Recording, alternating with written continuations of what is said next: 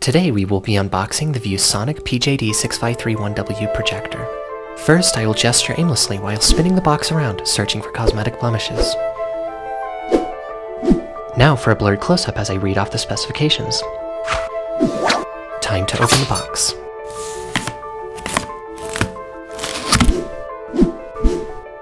The first accessory appears to be some kind of remote wrapped in environmentally conscientious number 2 plastic. Next, we have a few cables. They too have been wrapped in number 2 plastic.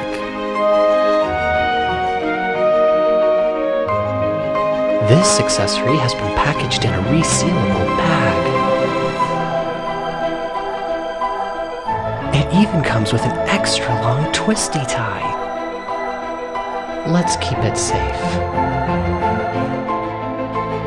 This accessory has a twisty tie as well. Quickly. Wow. There you go. Another resealable bag. How reflective. Paper squares with frisbees inside. Two of them. Amazing. The largest piece of plastic yet. So clear. Jackpot. Yes. Impact absorbing hollowed rectangles of cellular plastic. A matched set.